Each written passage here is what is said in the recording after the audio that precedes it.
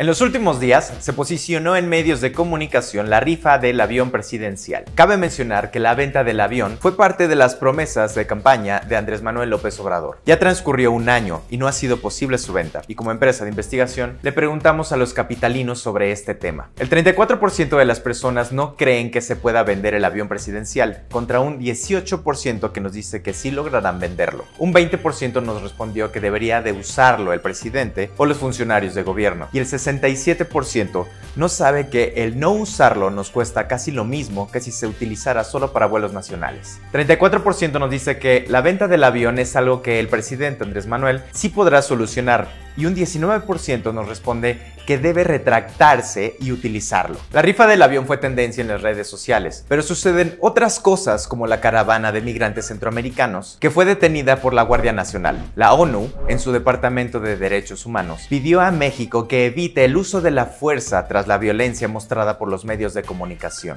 Pero, ¿dónde está Rosario Piedra, titular de la CNDH de México?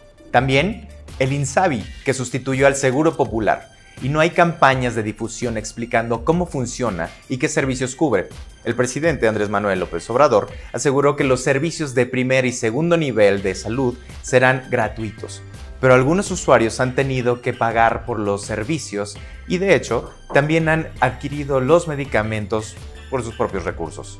Y por último, García Luna, con tantos secretos en juego. ¿Acaso llegará a juicio recurriendo a todo para demostrar si puede su inocencia, esto podría implicar la apertura de la caja de Pandora de información desde Cedillo, Fox y Calderón. Así que es un buen momento para reflexionar si el avión presidencial puede ser o no la prioridad nacional por el momento, ya que hay cosas más importantes en la agenda del país, como la seguridad. Soy Fernando Arroyo y si te gustó este video, compártelo y síguenos en todas nuestras redes sociales de Gluck.